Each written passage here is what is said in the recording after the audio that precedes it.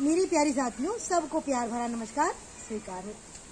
आज मैं आप लोग को ममता मिश्रा का एक आर्टिकल सुनाने आ रही हूँ। उन्होंने बड़ी प्यारी सी कहानी हमारे पास देखी है।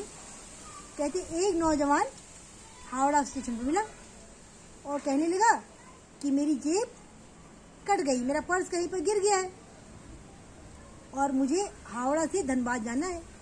वहाँ तक का एक सौ पाँच रुपया लगता है। तो आप मुझे सिर्फ़ एक सौ पाँच रुपये दे दें आगे धनबाद, उतर के मैं रेलवे स्टेशन से पैदल अपने गाँव चले आऊँगा, पैदल अपने घर चला आऊँगा। बस मुझे केवल एक सौ पाँच रुपये चाहिए। तो कहती मैंने, मैं बहुत संपन्न घर से हूँ। किसी चीज़ की मेरे पास कोई कमी नहीं है। और इसलिए मुझे आपसे पैसा मांगते हुए थोड़ी झिझक भी महसूस हो रही, शर्म भी आ रही है। लेकिन क्या करूँ मजबूरी है? बोलती हूँ मैंने कहा, अरे, कैसी बातें करते हो? इसमें शर्म की क्या बात ऐसा तो किसी के साथ भी हो सकता है। किसी का भी पर्स गिर सकता है, किसी की भी जेब कट सकती है। ऐसा करो, ये लो मेरा फ़ोन अपने घर वालों को फ़ोन करो। और कह दो, मेरे फ़ोन में दो सौ रुपये का रिचार्ज करा दे।